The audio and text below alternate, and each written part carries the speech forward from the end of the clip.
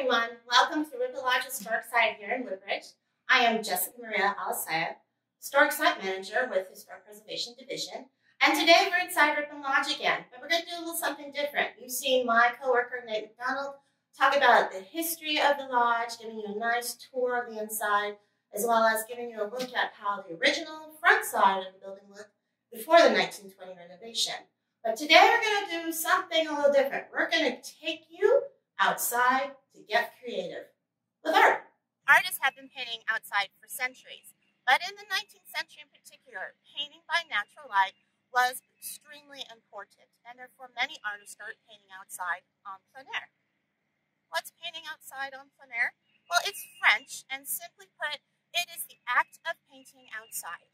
Artists like Pierre Gustave Renoir, Claude Monet, Vincent van Gogh, Winslow Homer, Mary Cassatt, so many great artists in the 19th century started painting outside, and many of them were advocates for painting by natural light sources. Here is a great example of one artist painting en plein air, and the subject of his painting is another artist painting en plein air. It's by John Singer Sargent, and it was done in 1885. It is an oil on canvas that you can find at the Tate Gallery in London. Artists have been painting en plein air here at Rippon Lodge since the 18th century. We are fortunate enough that Benjamin Henry Latrobe, architect, artist, and designer of the United States Capitol, was here in 1796 and created two of the earliest known images of our location. Also, in the 1950s and 60s, our last owner, Eliza Black, wife of Richard Blackburn Black, also painted here on plein air. And here's another great portrait that she did of the river room.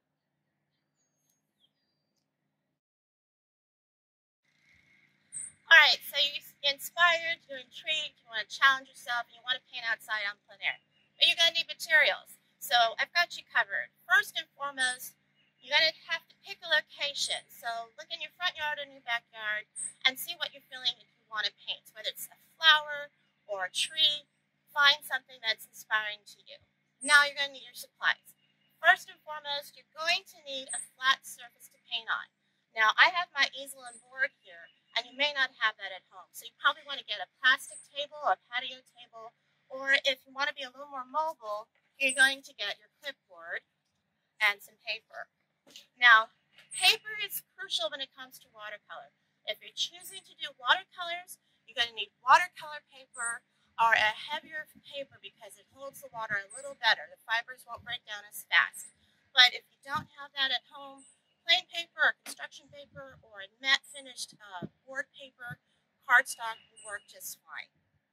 Now, your paints. I There are two types of paints. Most of you are probably familiar with these types of paints. These are your simple watercolor paints you can find anywhere, or you can find a bigger palette like this one. But for me, I have my artist watercolor paints over here. Um, so they come in separate forms. If you're not going to do watercolors, you can do acrylics or oils. And for our very young artists who may not have the paints at home, I'm going to bend the rules a little bit here and allow you to use crayons and color pencils. Or even chalk. It's called a pastel, and they come in two variations. A chalk like a sidewalk chalk, and then another one that has an oil base to it. Now, brushes for painting are critical. Your kits like this will come with their own brush. However, you can get a variety of brushes and they have different sizes, different bristle types as far as maybe being more natural or synthetic, and they all kind of paint differently. So if you have the opportunity to find some different size paint brushes, do so. For those painting outside on a clipboard or on a table, bring some painter's tape with you so that your paper won't fly away. Finally, since you're going outside, you're going to need water, not just for your watercolors, but for yourself. And you'll need things like sunscreen, bug spray, and a hat because you will be painting outside. And you shouldn't wear sunglasses if you can avoid that at all possible because the tints on sunglasses will sometimes change the color you're actually seeing. So you want to be as pure as possible when you're painting, so wear a hat instead or find a nice shady spot. Also, if you're going to make mistakes or you might spill water, a towel or a paper cloth will help you too. I'm now going to share some of my tips and techniques when it comes to painting. And I encourage, again, all of my artist enthusiasts and instructors out there to also share in the comments some of their tips when it comes to painting outdoors and using watercolor. Now, watercolor is a great medium to use. However, it can be sometimes unforgiving. So first and foremost, make sure you find a palette to put your paint on. This is my artist palette. It's a big tin, um, but it works just fine. But you can also use uh, the top of your painting lid here. as your palette too. Don't just swish your brush in here and then go on here. You always want to dab your paintbrush a little bit. And I'll explain why in a second. When it comes to painting watercolor, you want to start off, at least I find, going from light to dark when it comes to the color. You want to block some of your certain sections off very lightly with a light brush of blues and greens because if you start off too dark, like you see here, it is very unforgiving. I will not be able to lighten that up. But it's a mistake, and I'm just going to keep going with my painting. Also, when it comes to your paintbrush, don't do this. And then put it on your paint. Too much water is dripping, and it's with this, my easel, it's going to make the colors start to run.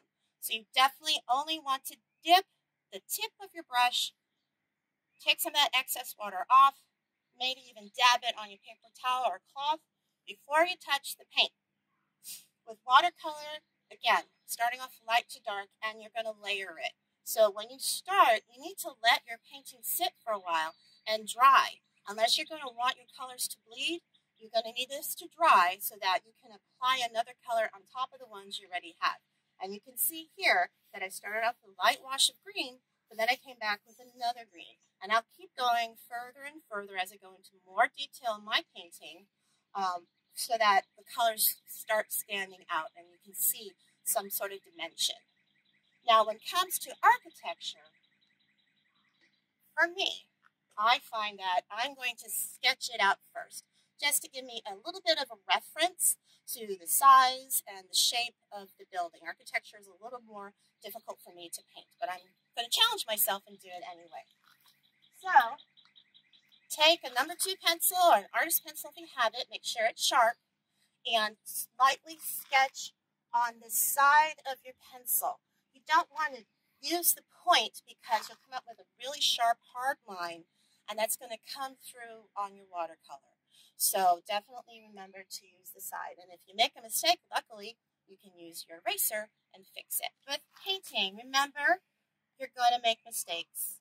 You need to practice.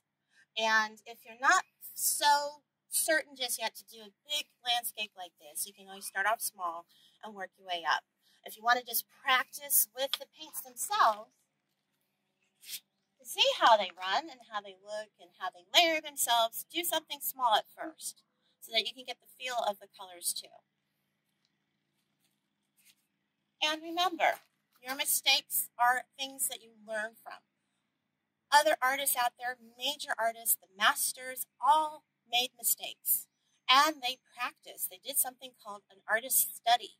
And before they started something, they would sketch it out or paint it out, use different materials in order to figure out the exact look and the exact feel and to actually know what they're painting before they sat down and did their masterpiece. So practice is okay.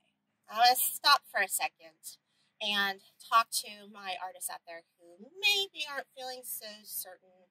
They are a little nervous about painting. They maybe feel that they can't even draw a straight line.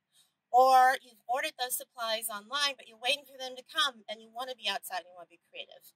Or for some of you, it's too hot, it's too humid. My allergies are acting up, which mine are today.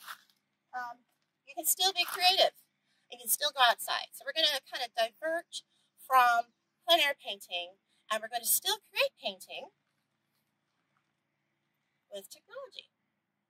Okay, I know my artist enthusiasts and friends out there might get a little upset at me, but we are trying to encourage all artists of all ages to do something outside and become creative.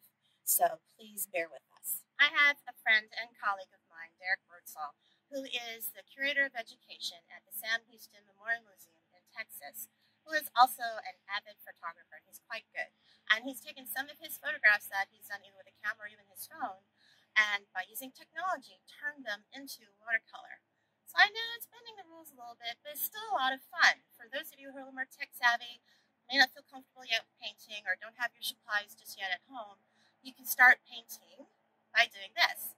So uh, make sure you find something outside that is intriguing to you. And with it being a lovely spring day like it is today, there's plenty of flowers blooming, there's bugs outside, maybe you've got your pet at home, anything you want to take a picture of, start taking pictures of them. And once you find a great angle and great light, you're going to then download an app, whether it's on the Apple platform or your Android platform. Um, make sure that, number one, you research the apps you're about to download. You need to find out what they can do and also read some of the comments from the other users to make sure that they're not buggy or anything like that. And also for all my young, young artists, to make sure you ask your parents before you download anything. Well, I'm going to take this picture here of Rippon and I've kind of kneeled down so I can get an interesting angle and I'm just going to click it. Now, when I download my app at home, I'm going to take this picture and using the app's instructions, turn it into a watercolor. So today, just to recap everything, we've talked about plein air painting, some of the artists who made it, some of the materials you need to paint outside, as well as some techniques. And hopefully we've read some of the comments below with our other artist friends who are helping us out here today. We've also learned that you can use technology to create paintings as well. But there's one thing I want all my artist friends to remember, is that whatever you make is going to be uniquely yours and it's going to be beautiful. Don't be discouraged. Keep practicing and share it with your friends and family. In fact, share it with us. Friend us on Facebook or tag us. We'd love to see what you've created outside. So thank you so much for joining me today. I'm Jessica Maria Alicea from Rippon Lodge, and all my young artists out there, be safe, be creative, have fun, and I look forward to joining you again.